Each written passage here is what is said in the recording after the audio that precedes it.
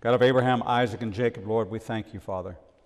We thank you, Lord, for all of your mercies. We thank you for your incredible grace, and we thank you for your provision. Lord, we pray for the peace of Jerusalem. That peace might be found in, within your walls, and that peace is not a something, it's a someone. It's the Messiah. And your hand has been on Israel, Father God, so we ask for a double hedge of protection over them as they come under attack. And Lord God, we pray for the soldiers and for the families on both sides, Lord God, that life is precious. Every life is precious. And Father God, we ask that this not escalate into an intifada, Father God, but that you would intervene and bring this matter to closure.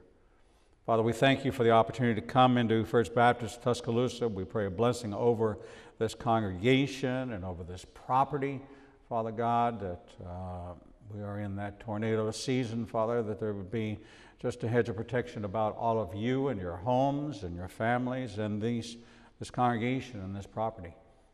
And Father, we thank you for the opportunity to come together with one heart, one voice, and one spirit to lift up the name of Jesus and study your word to show ourselves approved of you. We dedicate this time to you and give you all the praise, honor, and glory in Jesus' name. Amen. We're in Exodus chapter 15, and we are looking at this uh, mighty crossing.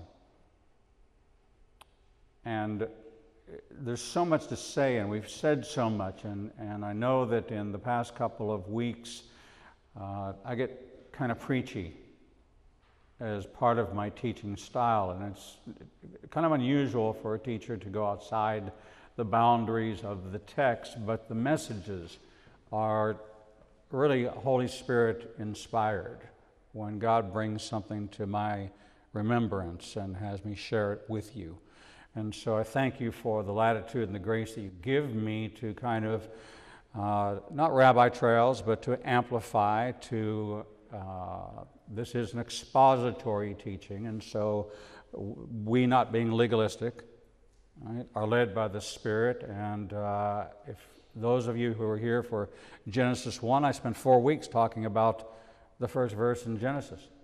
And so there's much to be said about all this and much that affects our lives today. And that's a part of understanding why God told us this story and why in the book of Revelation John talks about what is and what was and what is to come, that we might know what took place so that history will not repeat.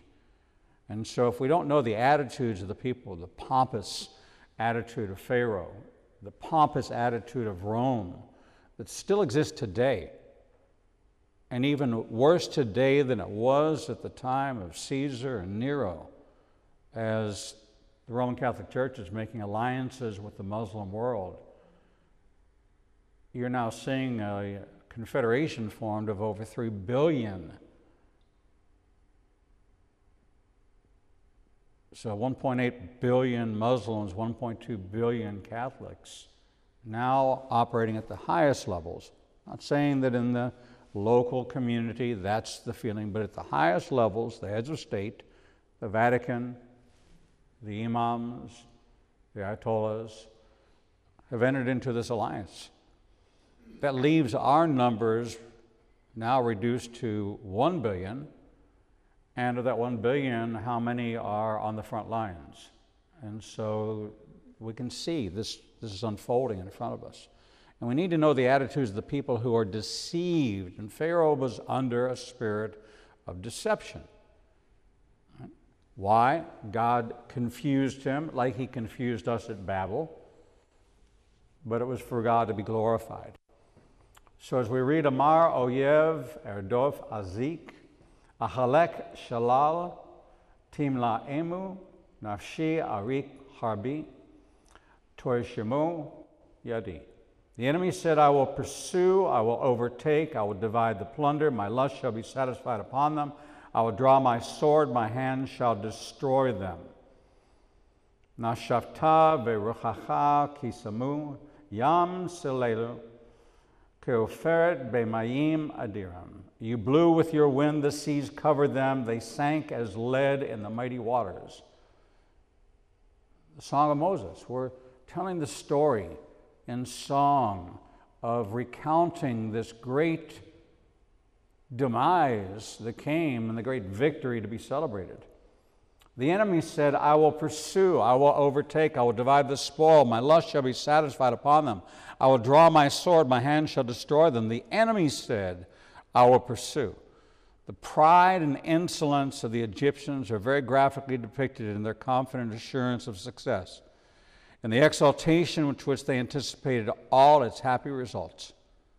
They were already reveling in victory when they mounted up their pursuit of the Israelites, knowing that they had been given silver and gold, knowing that they had been, had their herds and flocks, and now they were going to take it as their plunder. Foolishly, because their purpose was to go fight their workforce. So if they had overtaken them, if they had slain them, who were they hurting? Themselves. If they merely captured them and took them back without this aggressive, without this punitive, without this, this hatred bubbling up inside of them, they might have been able to think, but God. They far exceeded the boastful declaration of the vainglorious Roman because his Veni Vidi Vici described a conquest that had been achieved, whereas in the height of their impious presumption, the imaginations of the Egyptians were already feasting on the fruits of a brilliant and easy victory. Wherever they had reached the camp or struck a blow on the objects of their mediated attack. My lust shall be satisfied upon them. Timla emo nafshi. My soul is filled with them. My desire of vengeance is satisfied. The pursuit originated in a determined purpose to chastise the rebellion as Pharaoh deemed it of his insurgent slaves. The desire of inflicting signal punishment upon the fugitives became more intense. The closer he came upon their track, and he is described in the words of this clause as having in fancy got them in his power, and like a ravenous beast, glutting his appetite with the luxury of revenge.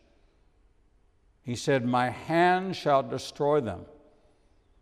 Korishomono shall possess them. After having dispirited and discomfited them, I shall exterminate them.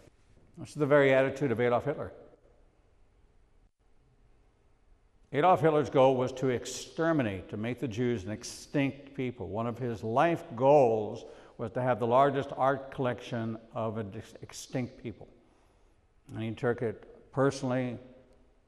His personal mission was to create, not like the Mayans. Okay? Natural disaster overtook them, but what at his hand he would create an extinct people. And God intervened. And so even today, we're finding caches of artwork that had been traded on the black market, that had been stolen from the homes of the Jews in Germany and Poland. This is nothing but the work of the enemy. And if we don't recognize that Satan's real, that our battle may not be against flesh and blood, but it takes the form of flesh and blood. And these demons, which we have countless numbers of them, we don't know how many are loose in the world today. It could be thousands, hundreds of thousands, millions. We have no idea of the number. Looking for a human host to do their bidding. This is Genesis 6, the Nephilim. And so we see that in the personage of Nimrod. We see that in the personage of, of uh, if you watch today's show, we talked about the obelisk in Washington and the dome of the Capitol. And how in throughout the world there are these poles, these obelisks, which are built as a tower of Baal. Why would these architects do this, knowing the biblical import? Because this wasn't mythology in the Greco Roman world. They believed in the person of Saturn, in the person of Zeus, in the person of Jupiter. In the first century, in that intertestamental period, 400 years plus the first century, people believed in this. This is what Mount Hermon, Nimrod's castle, and all of this has to do with where these gods were being worshiped. And it continues today. It says, Thou didst blow with thy wind, Yahweh like a consummate general, concealed as it were his plan of onset until the Egyptians were in the middle of the channel. In the moment the Israelites were securely landed on the Arabian shore, he who gathered the winds in his fist and bound the waters in a garment, from Proverbs 30 and 4, sent them forth as his messengers of destruction. The strong wind by which the waters had been divided and the bed of the sea was dried subsided as suddenly and miraculously as it rose, or as perhaps may be inferred from the words, the wind changed to the contrary direction, compelling the separated waters to collapse. With, re- with resistless impetuosity, they rushed on in one stupendous billow until commingling amid the foam and roar of confluence. They rolled like a cataract over the host, sweeping into the abyss of the gulf of the pride, power, and chivalry of Egypt. Pride comes before the fall, a haughty spirit before destruction. Horse and rider or charioteer might be seen here and there upon the boiling surface, and perhaps with desperate, convulsive struggle for self preservation. I'm not very good at the Latin or at the Greek, but uh, apparent rari nantes in gurgite vasto, but it was a vain effort. The gulf, after chafing for a little like a cauldron, exhibited ere long its accustomed calm, but the host of armed warriors, which during the night had sped over its barred, barred channel, where were they? They had sunk as lead in the mighty waters. Mikamoko Balim, Adonai, Mikamoko Nedar Ba Kodesh, Nora Tehilot Ose Fele. This is every Friday night and every Sunday morning. This is chanted in the synagogue. Who is like you, O Lord, among the gods? Who is like you, glorious in holiness, fearful in praises, doing wonders? Who is like thee, O Lord? all the idols in our life, but there is no one like God. No comparison. And knowing how many gods there were in Egypt, this was now a new declaration. Who is like you, O Lord, among the gods? Little e Elohims. These little gods are the gods of the dark side. These are the fallen ones. These are the watchers from the book of Enoch. These are all the way back to Genesis 6. Whenever you see the little g of gods, there were plenty of them. And they were all set out for the destruction, for idol worship, and for the destruction of belief in the one true God. How are people convinced to sacrifice their children? How are they convinced? What evidence did they have that these gods had power? Is because they believed that every storm, every sandstorm, every windstorm, every flood, every action was controlled by this, and that they were stemming the wrath of these gods. And so they were convinced. You've heard that the greatest lie that the, uh, Satan ever perpetrated upon man was the belief that he doesn't exist. But all throughout history, going back to the most powerful empire, the Egyptians, They believed in these signs and wonders, and we are looking for the time when someone will come and bring false signs and wonders. And will we be moved and impressed because we haven't seen evidence like that in our lives? Unless, of course, you've been to one of my healing services and you've actually seen it for yourself a paralyzed man get out of a wheelchair. That's not me, that's God. ABC News came out and interviewed and checked out the story. I didn't call them, I didn't tell anybody about it. But a man who had a broken neck, paralyzed from the waist down, hadn't walked in nine years, was told he would never walk again.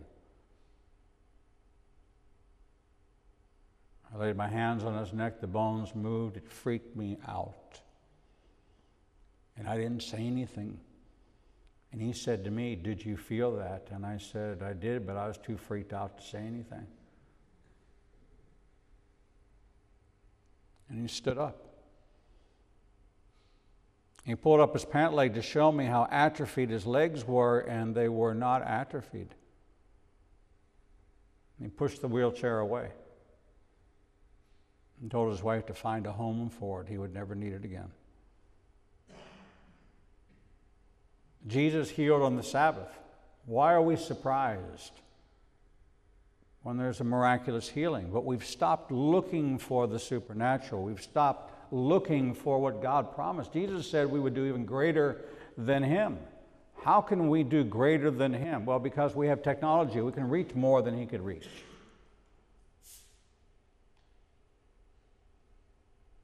What are we doing with it? Are we arguing about who got slighted for Mother's Day or uh, whose son didn't call? Or are we keeping our focus on the things of God? It says, Natita yemincha tivle emu eretz. You stretched out your right hand, the earth swallowed them. Who is like thee, O Lord, among the gods?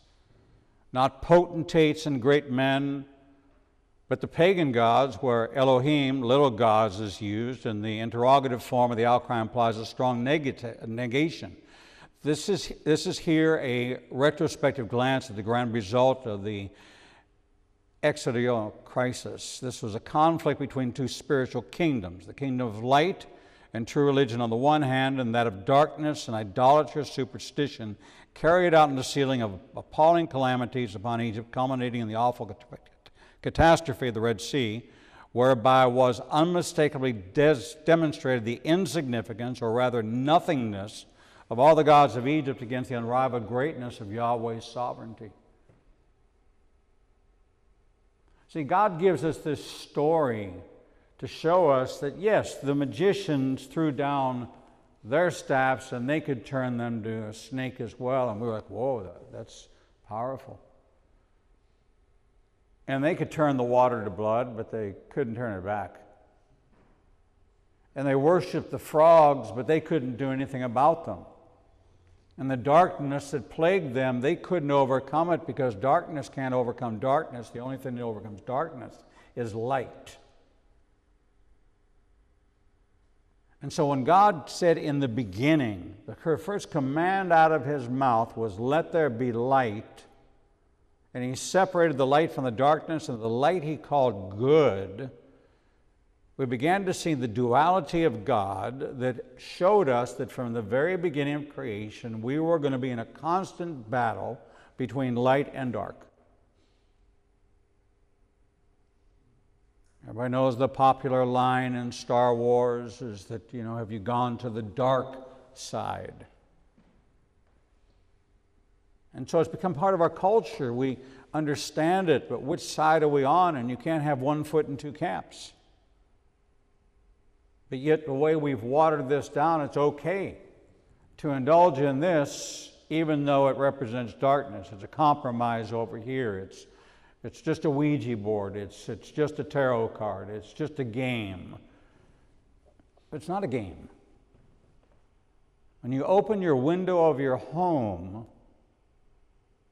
you let in whatever it is that will come in through an open window. You can't put a sign up that says wasps, squirrels, chipmunks not welcome. And they stop and read the sign and say, Oh, I can't go there. So once we open these doors and windows, anything will come in.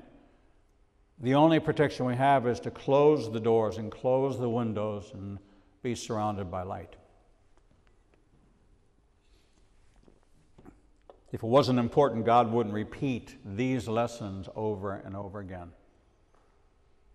The phraseology used in this passage, Mikamoka, who is like unto thee, was so deeply engraven upon the minds of the Hebrew people by the memorable song in Moses that in subsequent times of public contest between the claims of God and of idols, it was frequently embodied in the name Micaiah or Micah. See, this is the meaning. Who is like thee? So when we read the name Micah, this is why. It was memorialized in the name, in the naming. Look in 1 Kings 21.10, 1 Kings 22, 8, 18, and Micah 7, 18. Glorious in holiness, no attribute in the character of the true God presents a more striking contrast to the low and groveling qualities ascribed to the pagan deities that is purity than his purity and righteousness. The spirit of Baal was a sexual spirit represented by the Asherah pole. Referred to, translated Asherah as Baal's rod. So every obelisk you see is an ancient Asherah pole, meaning Baal's rod. It is a phallic symbol in the world.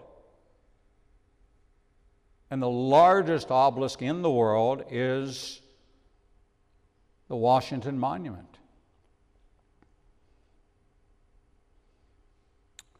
So when you measure it, it's 534 feet, but if you convert it, it's 6,666 centimeters. six, six, six.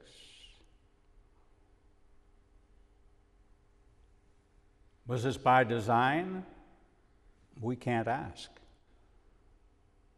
But we can certainly look at the history of the capital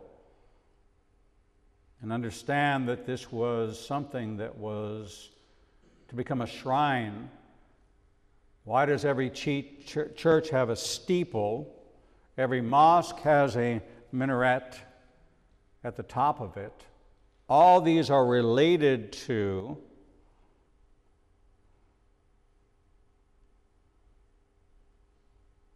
Baal's rod. So, still to this day, as they build, they build it this way. Are they doing it intentionally? This is how insidious a spirit is. It moves architects to design things which incorporate things that God said to tear down. He told all the kings of Israel to tear down these poles. Yet here we are in modern day building them.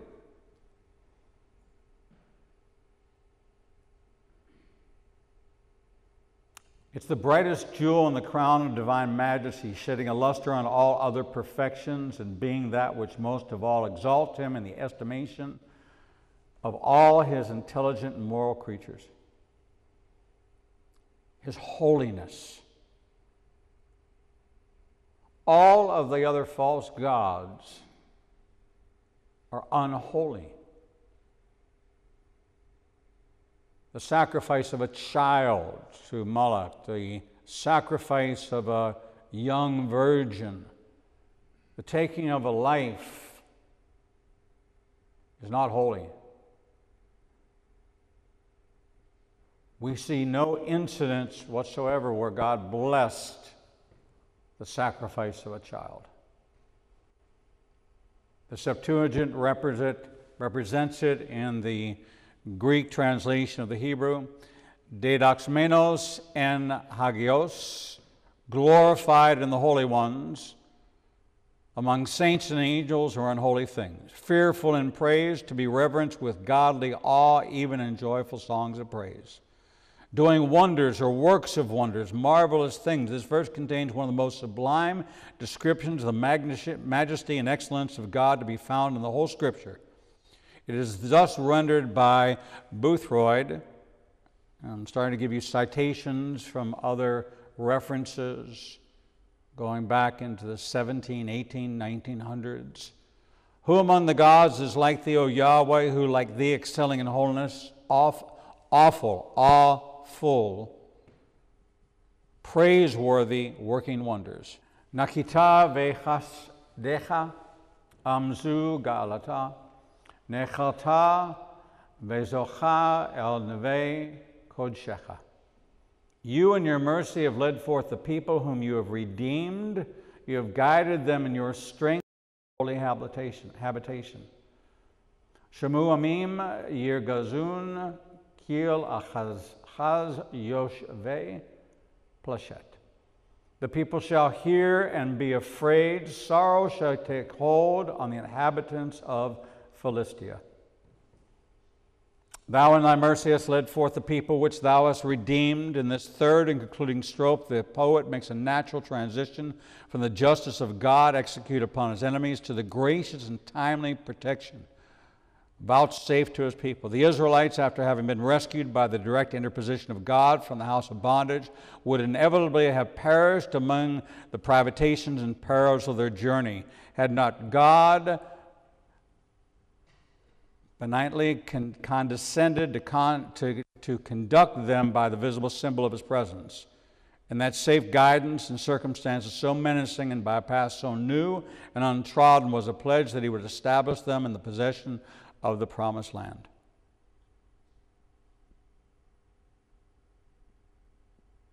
So, justice of God executed against his enemies, mercy upon his people.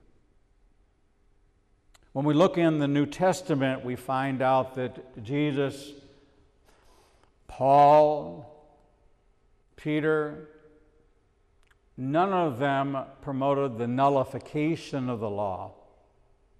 They promoted the clarification of the law. God is a judging God.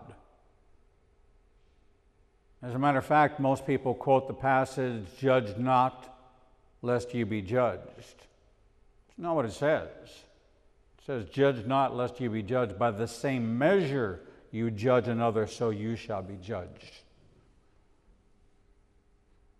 So I get emails asking me, what do I think of this teacher? What do I think of that teacher? And I say, I don't comment about other teachers. I don't want to open the door for comments from them. I'm held doubly accountable to God for what I teach. I carry twice the burden as a preacher, as a teacher. Because I spend more time in Scripture with you than a preacher normally does.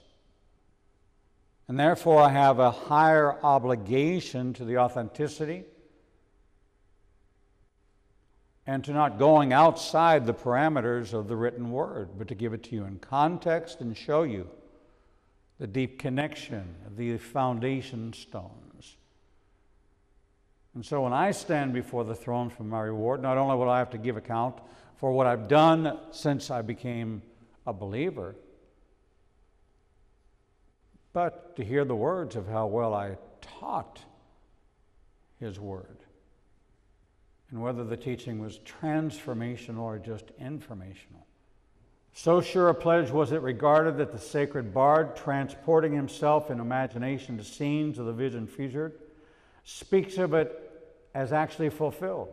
Thou hast guided them in thy strength to thy holy habitation, Canaan, which from the many revelations made there to the patriarchs might be called in a wide sense Beth El, Beth means house, El means God, the house of God, from Genesis 28.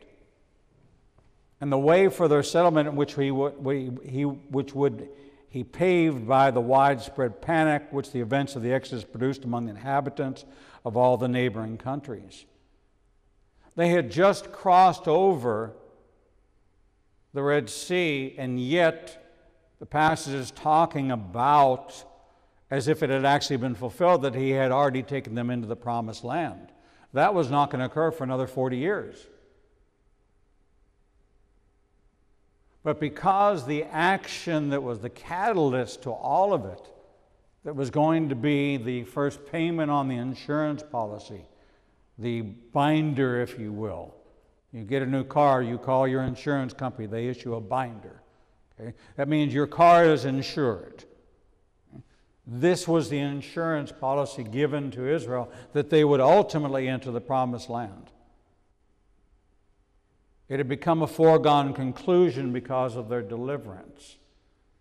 When you give your life to the Lord, it becomes a foregone conclusion that you will enter the kingdom of heaven. And depending on your theology, you can live a life the way you want to live a life, or you can live a life of accountability. For some, it's once saved, always saved. For others, can a regenerated, renewed,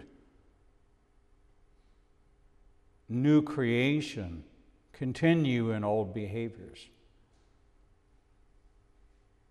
It's a question each one of us must answer for ourselves. It's easy when the Bible tells you this means this. It's just real straightforward. But it doesn't tell you that, does it? It doesn't say once saved, always saved. It says no man can snatch you out of the hand of the Father.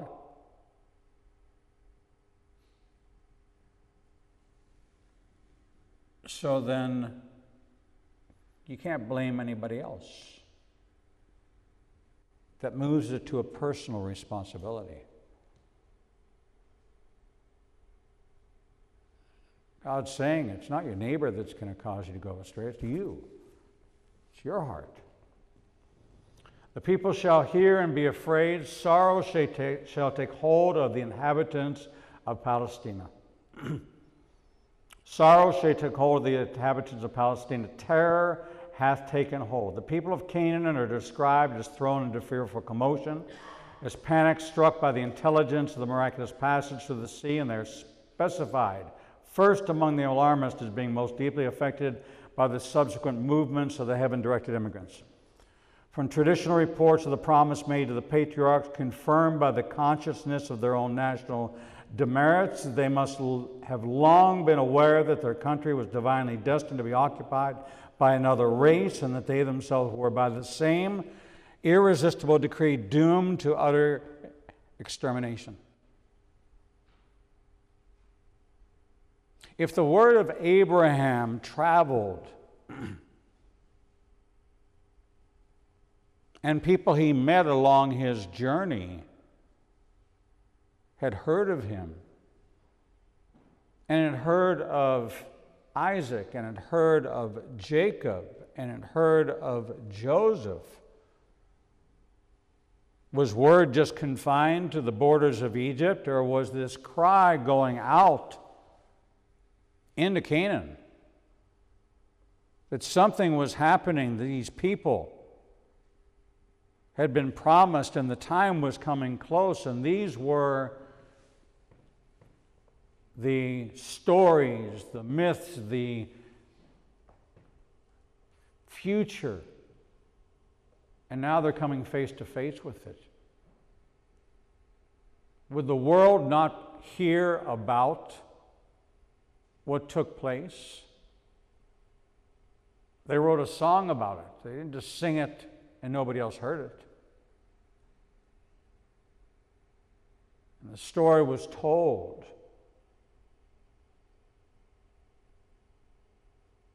And they knew.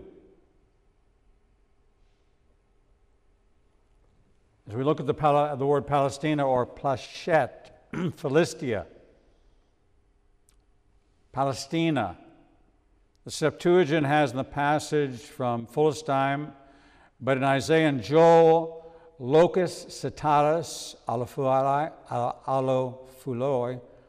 The Hebrew word as thus is used was the proper and exclusive name of the southwest corner of Canaan occupied by the Philistines, and also, and such also was the early application of its Greek equivalent, Palestini, Josephus wrote in the Antiquities, although in later times it became the designation of the whole land. If you look in Josephus' Antiquities and Rawlinson's Herodotus. The name Palestine is from Rome, calling it Palestinia Capitolina. As was their style to pick a name that emphasizes a name Philistines that would be a constant reminder of those who brought terror and taunted the Israelites. It was designated by Rome and has nothing to do with Palestinians. How many of you were aware that the word Palestine was originated by Rome trying to embarrass the people that lived in Canaan, in Israel,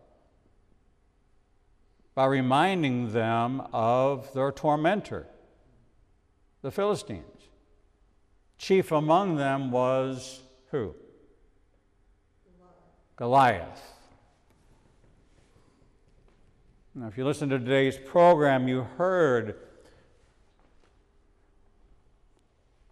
that The belief is that Goliath's head was buried at the top of the Mount of Olives, and that ultimately became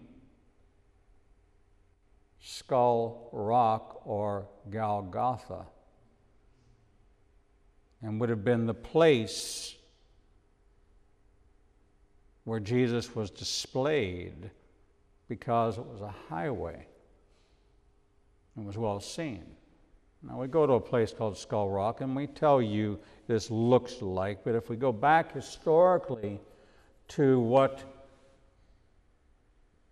the archaeologists have found, is that David buried his, the head of Goliath at the top of the Mount of Olives, and that became Skull Rock, Golgotha.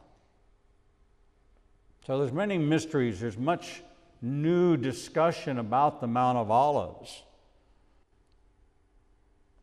and where Jesus was crucified and where Jesus was buried.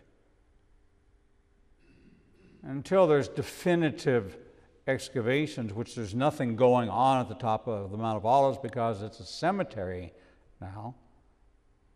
It's one of those mysteries that may go unresolved until Messiah returns but yet quite interesting and makes a lot of sense. But yet the Bible does not tell us, does it? And so this is where we have to look at the Word to tell us what the Word tells us and then look for the signs. There's things that we can read from historians and look in the Psalms, but if it doesn't say that David took Goliath's head and buried it at the top of the Mount of Olives, which was then the place of Jesus' burial and crucifixion, then we don't know it for a fact. It's 1515, Az Nivhalu, Alufe Idam, Ele Moav, Yakazemu Ra'ad, Namagu Kol Yoshve, Kinan. The chiefs of Edom shall be amazed, the mighty men of Moab, trembling shall take hold upon them. All the inhabitants of Canaan shall melt away. Tipol Alechem, Emata Vefachad Bigdol, Zeracha Yigdmu, Ka'aven ad Yavor, Amcha Adonai ad Yavor, Amzu Kanita. Fear and dread shall fall upon them by the greatness of your arm. They shall be still as a stone till your people pass over, O Lord, till the people pass over whom you have purchased.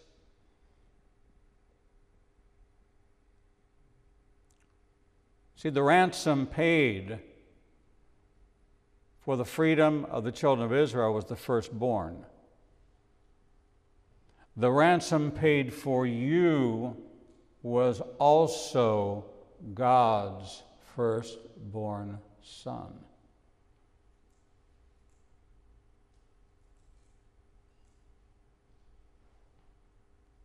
all revealed in this transaction of the deliverance of the children of, Eve, of, of Israel in the Exodus. The ransom paid for the freedom was the death of the firstborn. God's creating a pattern here. He's telling you that the ransom has to be paid for your freedom. And under the Mosaic system, you made an offering. You took from your herd of your bull. One bull services the whole herd. When you sacrifice the bullock, you cut off the production of life in your herd. You then have to go out and find another bull to service your cows in the hopes that a male offspring will be born and then grow to maturity to be able to service the rest of the herd. That could be a period of two to seven years of consequence for a crime you've committed that you have to pay for with the ransom of that sacrificial bull. Now it's no longer the blood of bull or goats poured out on the altar for the sacrifice for sin. We have one who was sacrificed for us, as was the pattern of the firstborn being taken for the redemption of Israel. Now God's only Son was the ransom paid for you and I. Not unprecedented in the Bible. We read about it in Genesis 22 with the sacrifice of Isaac and God stepping in and providing a substitute. Now we see it actually employed. We don't know how many firstborn died. And now we see that 2,000 years ago, the ransom was paid for us, just like it was paid for the freedom of the enslaved Israelites, the death of the firstborn. If you want to know the sovereignty and consistency of God, you have to look to His Word, all of His Word, to see the patterns as they're laid out, to understand the mind of God, the heart of God, that a price has to be paid. Leviticus 17:11 says, "The life of a thing is in the blood, and the blood for making atonement." In the Brit Hadashah, in the New Testament, it says, without the shedding of blood, there's no remission for sin. And so we see God's consistent in this. And finally, he put an end to the sacrifice for sin with the death of the firstborn, just as it was in Egypt. The dukes of Edom shall be amazed, literally were troubled, were in trepidation, paralyzed with terror. Alupe Edom shakes, the special name which is given in the Pentateuch to the Edomite princes or phylarchs, and by which they are distinguished from Elele Moab, the mighty men, nobles of Moab. All the inhabitants of Canaan shall melt away. Namagu shall melt with fear. This means that all these generations that are coming, that are being impacted by Israel coming into the promised land, and so we look at the Edomites, we look at the Moabites, we look at the who else? The Girgashites, the Hagarenes. We look at all these people who God has said is they're against the seed line of Messiah. The Amalekites. By the greatness of thine arm they shall be as still, literally struck dumb with astonishment and terror, terror petrified. Till thy people till thy people pass over, O Lord. Pass through the intermediate regions on the way to Canaan, which thou purposed, redeemed, which is a recovered possession. This is a beautiful gradation observable in describing the distress of the people in the contiguous countries. First, there's widespread panic produced. Secondly, the rulers in Edom are agitated and perplexed. The Moabites, which is Jordan, are seized with consternation, and the whole Canaanites are plunged into a state of deep despondency because they know that if Canaan is the promised land for the Israelites, what happens to the Canaanites? They're out of here, struck with terror. Although both Edom and Moab opposed the passage of the Israelites, we see that Numbers 20 and 22, yet the prevailing state of mind among the people in all the region around was, was terror, a complete prostration through uncontrollable fear, as described in Joshua 2 9 and 10 and Joshua 9 and 9. Have you ever been so scared you were petrified, frozen in fear. Some people have had that experience. Petrified. This is what's describing this uncontrollable fear. Tivemu, betitemu, bechar nachelakha, Makon Lev Shivtecha, Pealta Adonai Mikdash, Adonai Konenu, Konenu Yedecha. You shall bring them in and plant them in the mountain of your inheritance, in the place, O Lord, which you have made for you to dwell in, in the sanctuary, O Lord, which your hands have established. Adonai Yimlok Leolam Vaed. The Lord shall reign forever and ever another closing prayer, another closing line at the end of a traditional Jewish service as part of the liturgy. Adonai Yimlok Leolam Vaed. It's the closing line. The Lord shall reign forever and ever. Thou shalt bring them in and plant them in the mountain of thine inheritance or possession, since the ostensible reason for the departure from Egypt was to celebrate the worship of God, and a mountain was commonly chosen as the most suitable part spot for the performance of sacred rites. So Moses, who was well aware of the destiny of his nation in the promised land, anticipates with prophetic foresight the completion of the purpose for which they were selected in their keeping up the national worship of God in a definite locality. Some indeed, as Aben Ezra, Rossum Loth, etc., take the phrase the mountain of God's inheritance as a poetical designation of Canaan, which is a mountainous country, in that view, it was God assuredly who not only brought in the Israelites into the possession of it, but planted them in it by establishing the Jewish polity in that land. And so Israel is not mountainous like we think of mountains. The mountain in Israel isn't very high.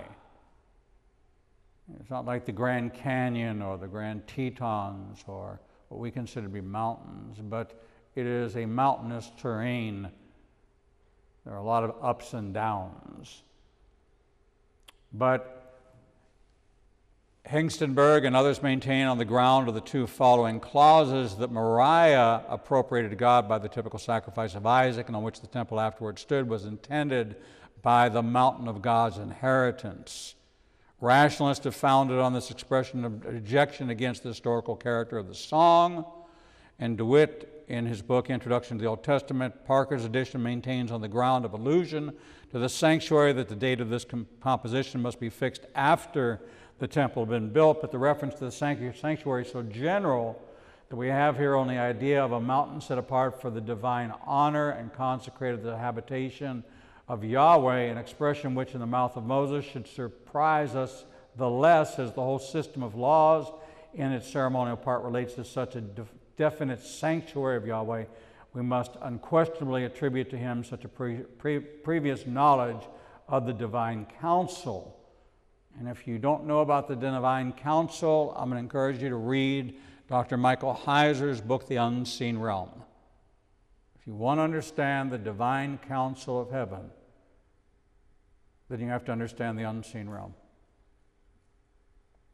And it's one that will take you, will take you up a level in your understanding of the gods, the watchers,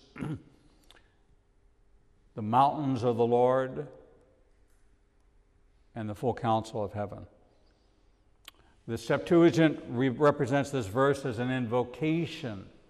Esagogon katafite uson. Bringing in, plant them, etc. Whether in this precatory form or prophetically expressed as in our version, the change of person is too common in all poetry to warrant any conclusion being drawn from that feature in the poem that it belongs to a late and artificial age. See, people argue when was all this written? And when did we get this? And how could Moses have done this? And how could God have inspired all this and revealed it all to Moses? But Moses is writing about something he experienced. This is first person record of his encounters with Pharaoh. But because Moses was a prophet of God, God was revealing to him what the future would hold in the promised land. And when he took him out to the top of Mount Nebo and he looked out and he looked into the, prom- uh, into the promised land, he could see from the top of that mountain what lay ahead. And so, was he talking about a particular mountain, Mount Moriah, where the temple would be the Temple Mount? Was he talking about Mount Horeb in Sinai? We don't know. And so, what happens with these theologians, they get into arguments about the timing of things and trying to insinuate that God did not inspire this, and this was not a first hand description, as how could God tell you, how could Moses tell you past his death? How could he finish the chapter? When we get to the end of Deuteronomy and Moses is dead and we're talking about Joshua and the first mention of Joshua, how could Moses have written that? Well, he didn't. Uh, Joshua wrote it. We know that. But we attribute to him the first five books of Moses. So what happens is, is this is what seminaries are teaching and theologians are teaching and using these references. And I take all these commentaries and I lay them out and I look at them and I can see why so many people are confused by it and question the inerrancy of God. And this is why the clarification has to be given that all Scripture is God breathed.